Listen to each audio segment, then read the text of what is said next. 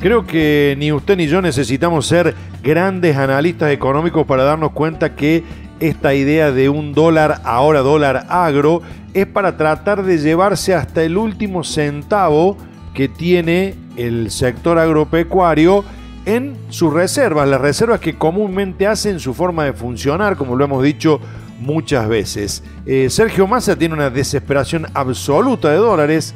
En el caso de que lo que fueron a hacer a Estados Unidos no funcione, van a volver con esta idea.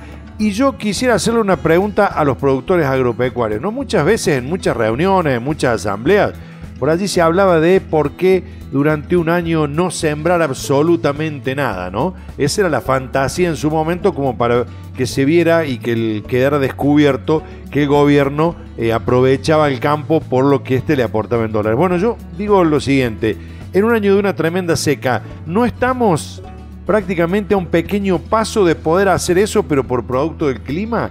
¿No será el momento de que más allá de que aparezca un dólar agro que los tiente, los productores no vendieran la cosecha y dejaran que el gobierno termine arreglándoselas con lo que tiene o tratando de ahorrar como hace todo el mundo para poder tener los dólares que necesita, bueno, sería para, para pensarlo.